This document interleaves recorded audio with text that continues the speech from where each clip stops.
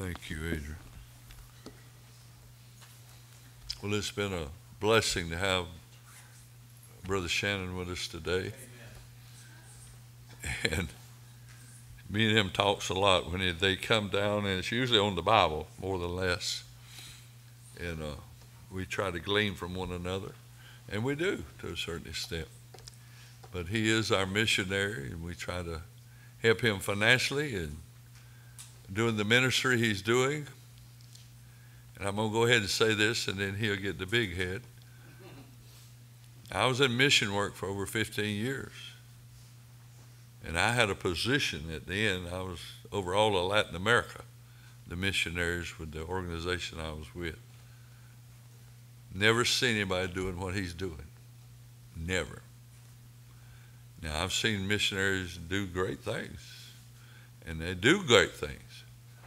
But he stretched himself out over the continent, and just not one city or one place. And he's doing it right. He's training men to go back, if they desire, and God calls them, to the country they came from and win their people to the Lord. Uh, one of my preacher boys down in Peru that we train and disciple, he's in the jungle of Peru. And he's, uh, I call him a circuit riding preacher. But he's got the largest church in the jungle in Peru. But yet he don't stay there. He lives there, and him and his wife and children. But every week he's gone somewhere else, planting some more seed, planting some more seed. See, Stockton Baptist Church shouldn't sit here. Did you hear all them amens? Amen. Amen. That's not what it's about. It's about reproduction. Reproduction. The Bible says some sow, some water, and God gives the increase. And we got to be doing one or the other, sowing or water, if we expect to increase. But anyhow, I'm not going to preach it. Uh, I'm stealing his fire or whatever. But I asked him tonight, especially to speak on missions. Now, he said a little bit about it this morning, but I want him to say more and help us to understand what's involved in mission work. He said the truth this morning when he told his friend he wanted to know how long it'd take him to learn the Spanish language fluently. Ten years. You ain't gonna learn it quicker. Oh, you'll be able to say good morning, good night, where do you live, what's your telephone number, and where's the bathroom. But you're not gonna learn the language, I promise you. Come on, Brother Shannon. Amen. Thank you. Thank you. Thank you. Amen. Don't let that discourage you if you want to learn Spanish, though. If you're young, you can learn it in about 10 months. It just depends on how young you are. If you're uh, Ashley and Kayla, they were three and five when we went to Argentina, and within six months, and I was studying it every single day, and within six months, they were better than I was, and it wasn't close. And that's the truth, you know. So it's it's you you just don't hear it the same once you get past a certain age, and but the earlier you can get it, you can get really good at it if you're young, and if you're not so young, then you got to try really hard. That's the way it works. But uh, missions, what is missions? Missions is just simply uh, going and make disciples of all nations. That's what Jesus has called us to do. so we all have to ask ourselves, what is my responsibility in that? What can I do where I am in my particular context? What can you do? uh, here, is, here in Stockton Baptist Church. And uh, obviously, one of the things we can do is what we talked about this morning, and that's having an evident faith, faith and an evangelistic faith, right? We have to be evangelist. We have to win people uh, in our own context, in our own, our, in our own place of uh, work, in our own hometown. We have to do that. And uh, that's the first part. Uh, all of us really are, in that sense, missionaries. But uh, on a broad scale, on a global scale, what do we have to do? Well, we have to pray that God will send laborers into the harvest. And uh, when you do that, you're really volunteering yourself. You're really saying, Lord, if it's your will, I'll go too.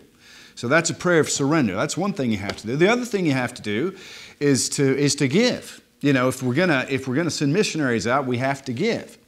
Uh, we have to take care of our church here, absolutely, but we also have to give so people can be saved around the world. So it's an investment. Anytime you give, you're going to get it back tenfold, uh, not only here, but in heaven someday, where it's going to be even more important. Are you going to have any, any crowns when you get to heaven? And really, that's something all of us should ask ourselves. So, we're going to talk a little bit about giving tonight, and I'm not going to be real detailed in percentages and stuff like that. It's going to be a, a, a broad look at, uh, at giving.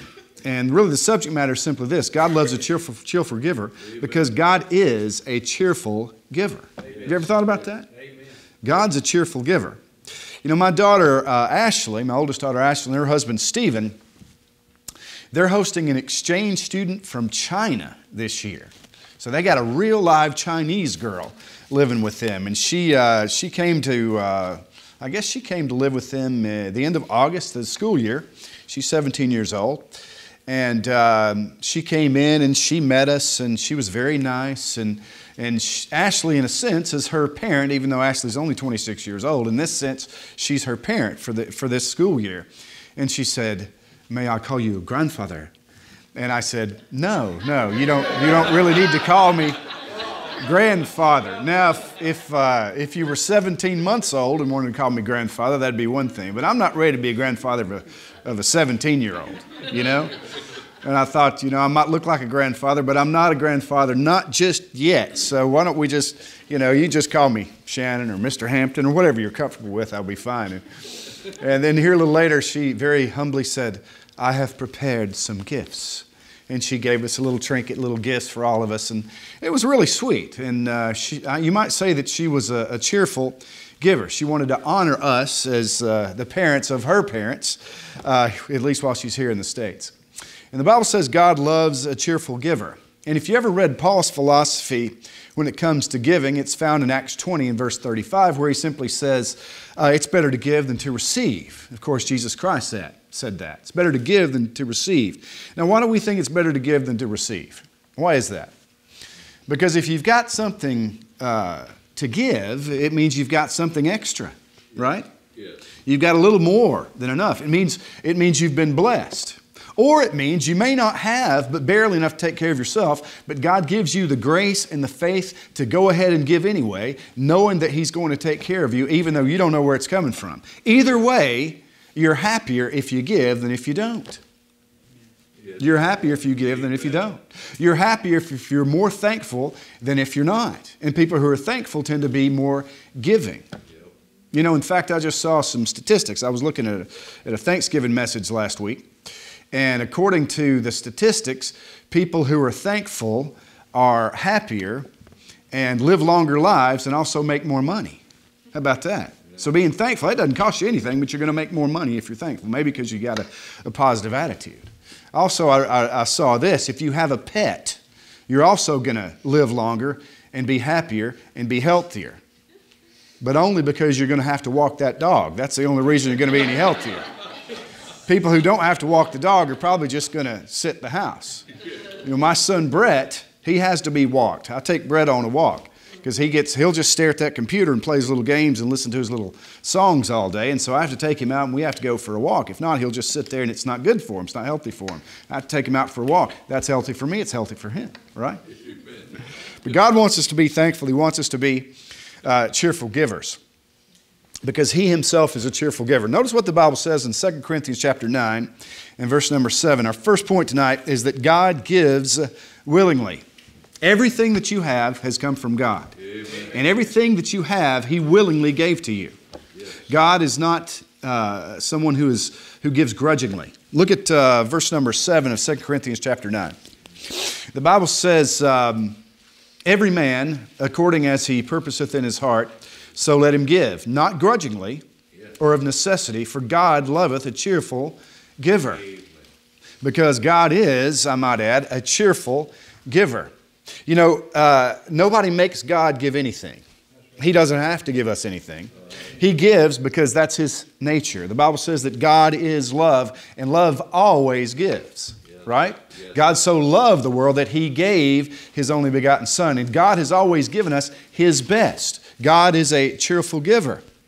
He desires to share His blessings with us simply because He loves us. Just like you give gifts to your children, Nobody gives a, a, a, gift to their child and think, well, I wish I didn't have to give my child this gift. No, we love our children. They're precious to us. They're like us. They have our same DNA, and we love them. We look, recognize that they're gifts from God, and they enrich our lives. So we love to give gifts to our children.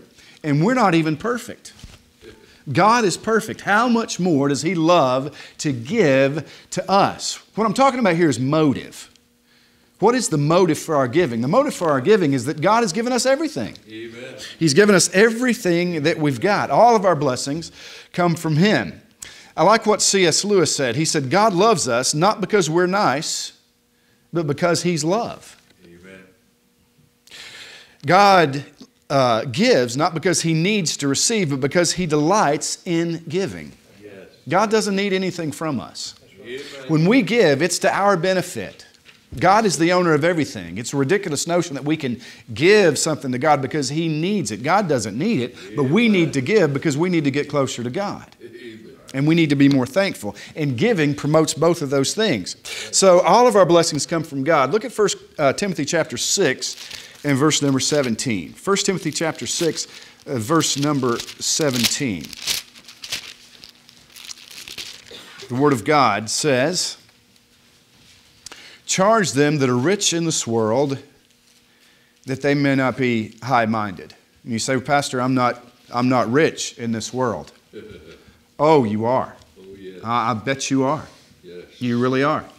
I've been to some, uh, they're called sugarcane villages down in the Dominican Republic. Amen. That's where the Haitians uh, live, many of the people from Haiti.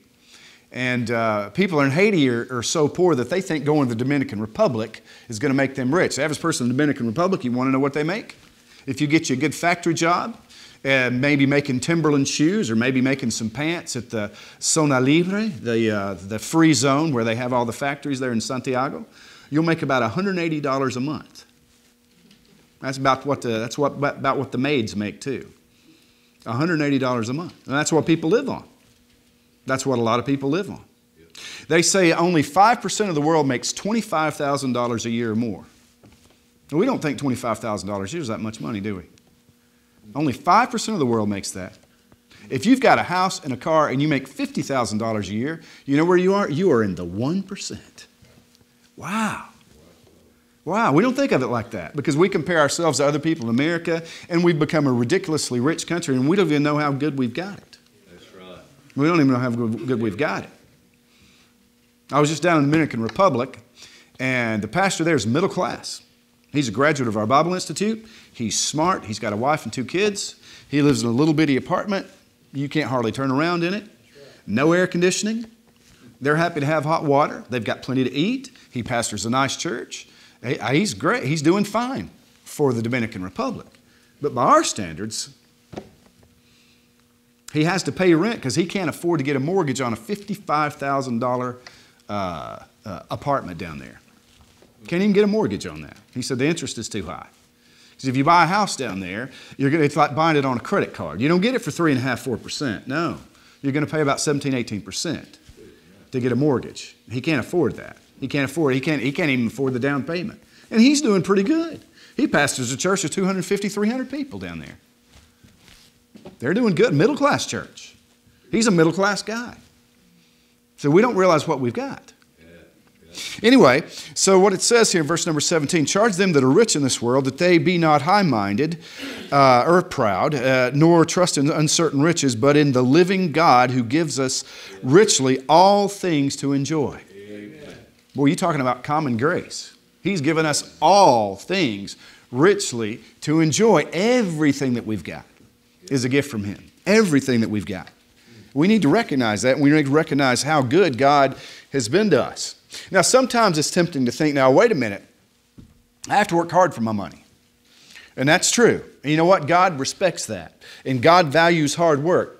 And, uh, but we have to recognize something. Who is it that has given us uh, our intelligence, our strength, everything that we've got to be able to go out and earn a living? It's all from Him. You know, I see that by having a son with special needs. He can't take care of himself, he doesn't have the wherewithal, he doesn't have the capacity. He doesn't have the intellectual capacity to be able to take care of himself because he's disabled, because he has autism. He's got severe autism. Many people with autism can function a lot better than, than Brett has. But we've had to work really hard just to get Brett to be as well off as he is. But he'll never be able to take care of himself. And yet we take these things for granted. We take these things for granted every single day. And God says, Here it is. I've given you all that. Psalm 116, 12 says, What shall I render to the Lord for all his benefits toward me? That's a good verse. You know why? Because it makes the implication is we have to think of all the benefits that God has given us. We have to sit there and, and, and write them all down and recognize He is the ultimate source of everything I've got. As King David said in the Psalms, He heals all our, disease, our diseases and loads us daily with benefits. He loads us daily with good things. He's a provider of everything that we have, both spiritually and physically. You know, uh, it's a really good exercise to just maybe take a walk and reflect on everything God's given you. I took about a two or three mile walk on Thanksgiving because I knew I was going to eat too much. Uh, boy, we had a deep fried turkey, and I don't care if I ever eat another baked turkey again because that deep fried turkey was it was money. I've never had a deep fried turkey, but that's, that, that thing was good. But anyway, I knew I was going to eat too much, and so I went out and went on a walk. And while I was walking, I listened to some Christian music and I just started thanking God for all of the benefits. It was Thanksgiving. I thought, you know, it'd be appropriate just to sit here and or walk around here and think about everything that I've got and all the blessings that I've got and how good God has been to me and and and just think about my health and, and my and my family. And man, it was good. It was good. It's a healthy exercise to just to just be quiet before the Lord and be thankful. I'd recommend it. And then later, before we ate, we all gathered around in a circle. And there was a lot of people there at the, at the house, probably, I don't know, 25 or 30 people, something like that. And we all gathered around and we sang, uh, we sang a verse of Great is Thy Faithfulness. Yep. Man, it was good. And I thought, you know what? We should do this on a whole lot more regular basis Amen. than just once a year. You know, God says that we should be thankful every day. We should give thanks for everything that we've got. And everything give thanks, for this is the will of God concerning you. In everything, give thanks. So that's our God, and that's what we've got. Then God also gives generously. He not only gives willingly, but He gives generously. And Jesus is really the greatest example of, of God's generosity. The Bible says that He became rich, uh, so to make us, uh, He became rich. Wait a minute, He was rich. He became poor. He became poor to make us rich. Yes, yes. You know, a lot of people give to the poor. A lot of people give to the poor. In fact, it's a lot easier to raise money uh, if you're in the humanitarian aid business than it is if you're in the gospel business. That's the truth. You know why? Because people want to feel good. They want it's instant. It's instant. If I give, I know that uh, that little Jose down in Mexico or, or some small child in, in Africa or whatever, they're going to be fed. And, and that's great. And that's wonderful. It's fantastic. I am all for that. But how much more needful is it to make disciples? Yes man, it's more needful. Yes. Because we can feed them, and that's great, and we should feed them. Praise the Lord. In fact, I read recently where we've gotten so good at feeding people that uh, hunger has almost been eradicated around the world. Can you imagine that? Praise the Lord for that. And God is good. That's wonderful. But how much more do we as Christians need to say? We need to do our part in both prayer and in winning other people and in giving so other people can go out into the harvest field and make disciples because that was the greatest commandment of our Lord and Savior Jesus Christ. His last command was what? Yes, sir. He had one. What was it? He said it five times.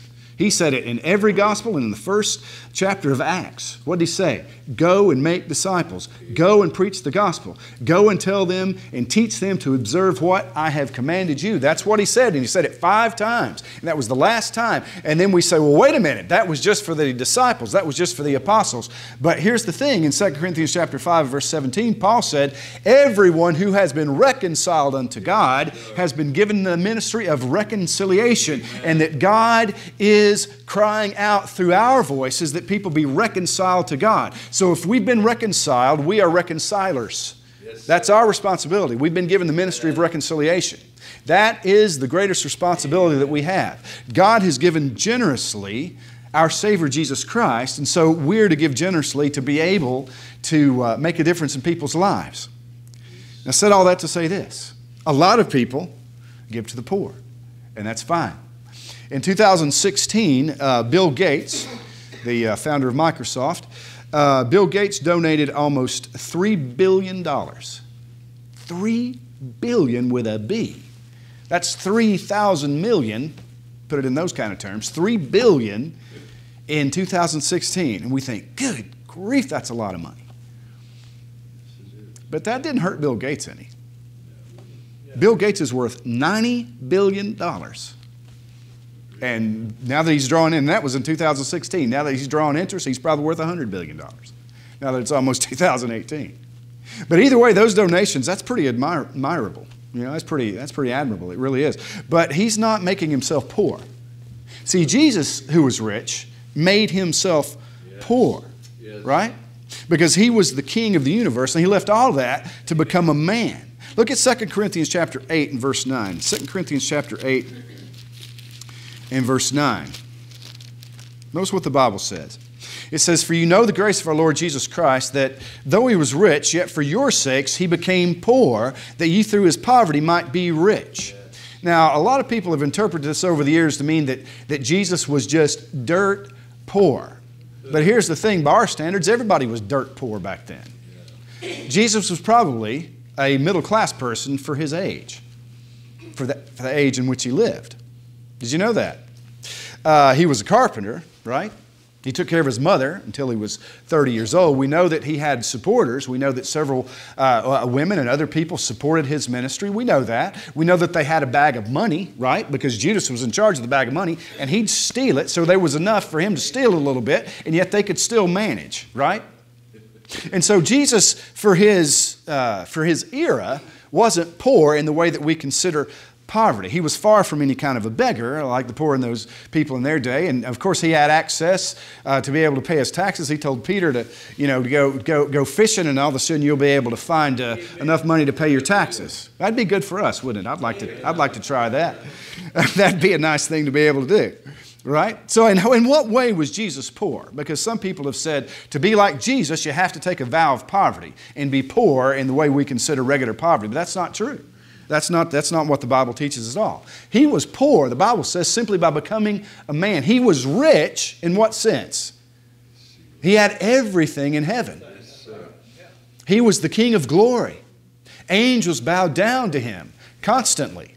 He had perfect fellowship with his Father, perfect happiness. And he left all that to become, to become a man and to become to this to come to this cruel and wicked and sinful and dark and violent world where he would be criticized and, and, and, and spat upon and eventually killed for our sakes. Though he was rich in heaven, he became poor on earth. He humbled himself and became a man and suffered death, even the death on a cruel cross. That's what Jesus did to become poor. Now, for us to maybe to understand this a little bit better, uh, how many people have taken a mission trip to a foreign country? All right, we've got a few. Where have you been? I know where y'all have been. y'all been everywhere. the Allens have been everywhere. Where did y'all go? 30 something different countries. All right, what's Central mostly Central America? Africa All right. All right. Now I've been to, I've never been to Africa.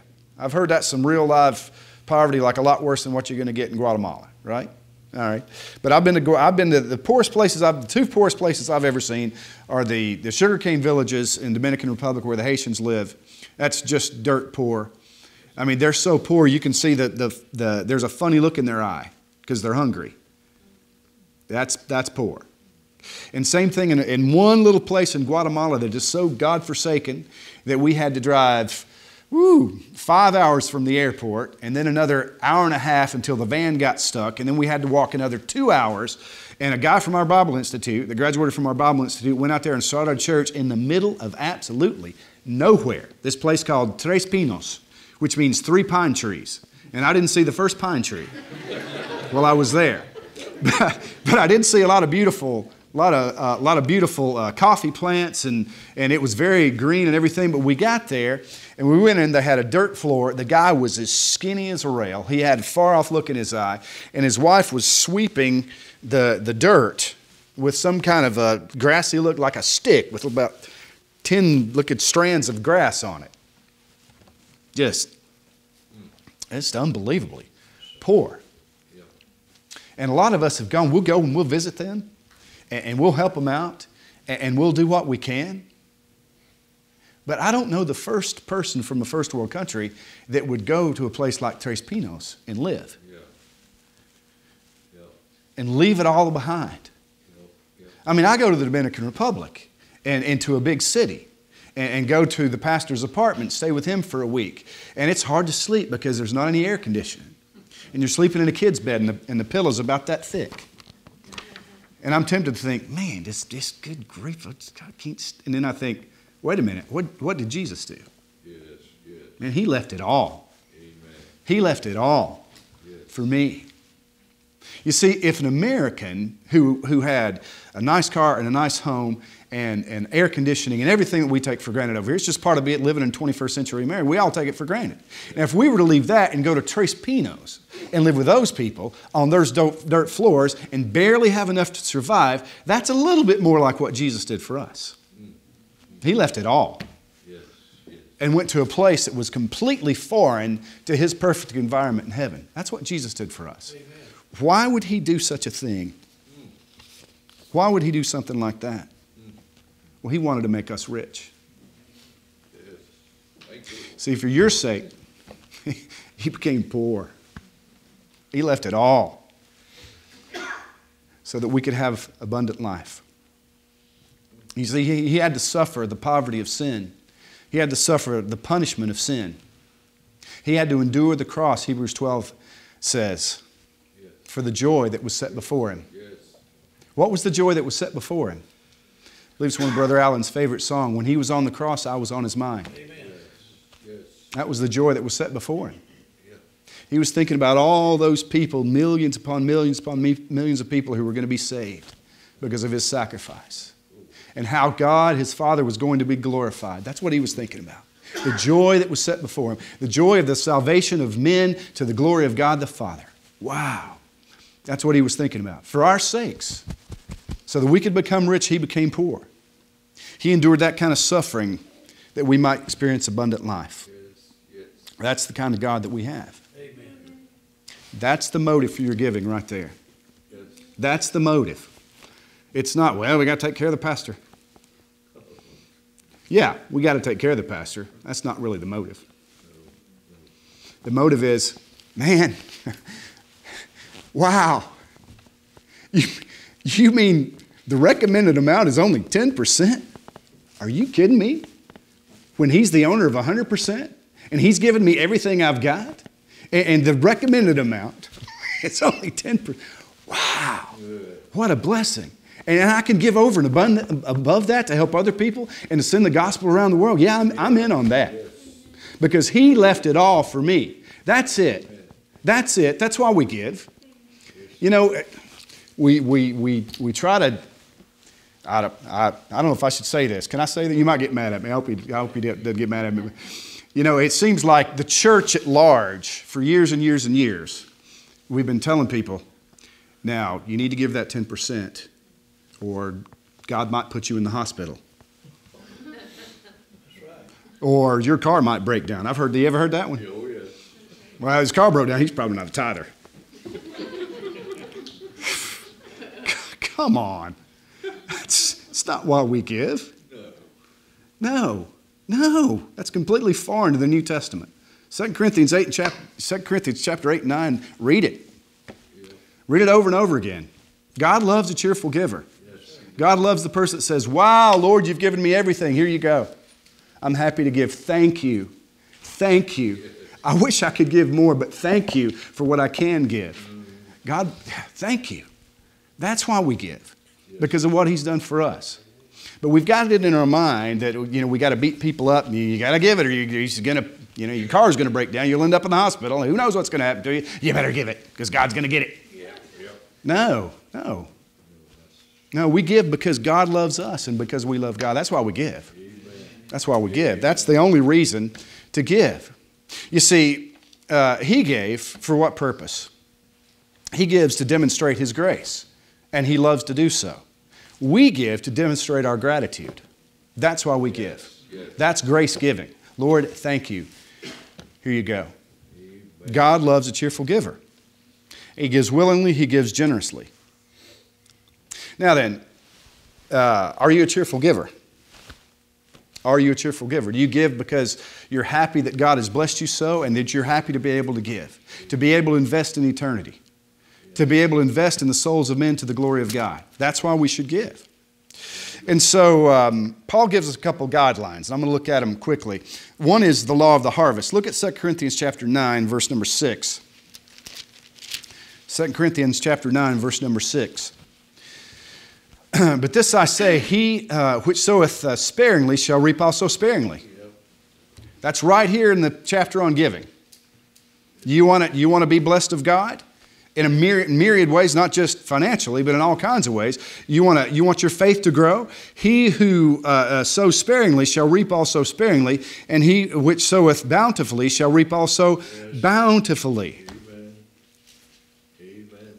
The law of the harvest. So if you want to see more of the power of God unleashed in your life, you should be willing to give. If you want to see your faith grow, if you want to see your faith grow, you should be willing to give. I won't ask for a show of hands, but I'll tell you this anybody here that's been giving systematically uh, for a long time, and when I say systematically, I don't mean I'm giving $5 a week, I'm trusting God for it. No, I mean really giving systematically whatever the percentage might be, but really giving systematically over the course of time is not worried about it because they know. They know God's going to take care of me. I'm going to be fine. I can give this because I know God is faithful.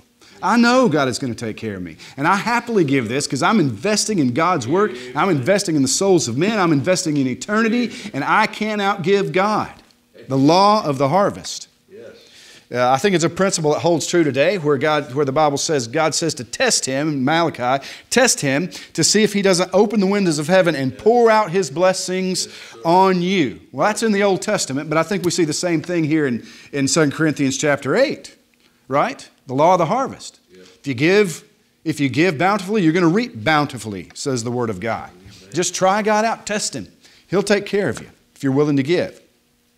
We can't outgive God. And so God gives generously, and so should we. Christmas is coming up, and I know a lot of y'all are going to, a lot of you men out there, you're going to, you, you're, you're he was probably at the mall shopping for his wife. That's probably what he was doing. She wasn't there, and he was out thinking of her. Oh, what can I get for my precious wife? It's Christmas is coming up. I got to get her something good, right? But all you men, you're getting ready for Christmas, and nobody goes out and thinks, how little can I get away with? Now, you might think that if you don't really love your wife. But if you love your wife, you're thinking, how much can I spend? How much can we afford? Because I want to give her something, man, I want to give her something that cost me something. If I have to work a little overtime or if I have to sell something on the, time, on the side, whatever I have to do, then I'm going to raise enough money to be able to give my wife a great gift because I love my wife. And I want to be able to, everybody's laughing like this, like y'all don't really love your wives. I see a lot of people have been married a long time here. I think that might, that might play into this thing. I don't know. Let's assume you're a newlywed. and then it's like, I want to really make my wife happy this year. And so I'm going to spend all the money I can. I'm not going to spend as little as I can get away with. How? I, let's see if I can get something good on sale and fool her into thinking I've spent a lot of money on her. That's not, that's not the attitude. Not if we really love our wives. So, why should we feel any different when it comes to loving God? David said, I'm not going to give to God that which costs me nothing. I'm going to give to God something that costs me something because I want to honor Him. I don't want to give silver, I want to give gold, right? I want to give God the best that I can possibly give. I give this generous offering to honor my Lord and Savior. One more verse, one passage of Scripture, Philippians chapter 4, verse 18 and 19. We'll close with this. And um, everybody uses this for all kinds of giving, but in context, it's really the missionary giving. That's what it is. Yes, it is. In the context of, of missions giving. Let's just start with uh, verse number 14 and go through verse number 19 so we'll get the whole context. And it says, Paul says to the church at, uh, at Philippi, Notwithstanding you have done, uh, ye have well done, that you did communicate with my affliction. Paul was in prison and his, uh, his jail cell was really a rented house. And so, being in a rented house, he had to be able to pay the rent. Otherwise, he'd end up in a lot worse place. And so, the Philippians sent an offering through Epaphroditus, and they took care of Paul so he could live in a rented house during his confinement. Albeit still cha- chained to a, a Roman soldier, but at least he had a house to live in. He was under house arrest as opposed to some dungeon somewhere. Somebody had to pay for that. You know paid for it? The Philippians. Because they thought they would invest in this guy named Paul. They thought that guy might be going somewhere. A pretty good investment. Pretty good investment. And it says, by the way, there's a lot of good missionaries out there. And I know that some are going to come by here and, and, share their heart and share their burden with you and share their ministry. And, and I know this church is going to do a great job in, in, in, helping those guys out and getting the gospel out around the world. We love it that you support us, but I want you guys to support a lot of people uh, because I know that there's so many guys that are preaching the gospel, doing a great job, and so many other souls that need to be saved, different kinds of ministries and things. But we've got to do all do our part to get the gospel out. So um, notice with me, it says, "Now you Philippians know also, verse 15, that in the beginning of the gospel, when I departed from Macedonia."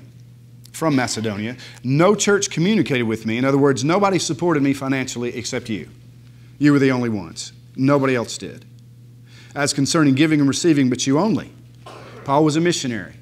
He had missionary support. They prayed for Paul. They loved Paul. They gave Paul money because they wanted to see people saved all around the Roman Empire. And so they invested in Paul's ministry. For even in Thessalonica, you sent once and again unto my necessity, not because I desire a gift. Paul says, I know God's going to take care of me, but I desire fruit that may abound to your account.